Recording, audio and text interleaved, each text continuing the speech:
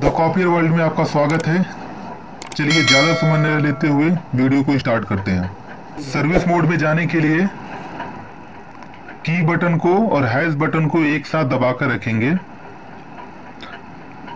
उसके बाद service mode open हो जाएगा। उसमें हम वन नाइन थ्री फोर उसके बाद स्टार्ट बटन को प्रेस करेंगे। प्रेस करने के बाद इंफॉर्मेशन का ऑप्शन आएगा। ऑप्शन पे क्लिक करेंगे, उसके बाद डाउन एरो को प्रेस करेंगे। उसके बाद D C one three five जो ऑप्शन है एच एफ़ एस आई उस पर क्लिक करेंगे। उसके बाद fuser reset transfer roller reset okay tray one roller reset friction pad reset bypass roller reset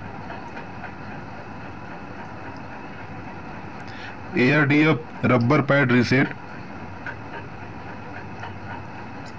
developer reset bypass friction pad reset ARDF roller reset replacement option solve हो गया है।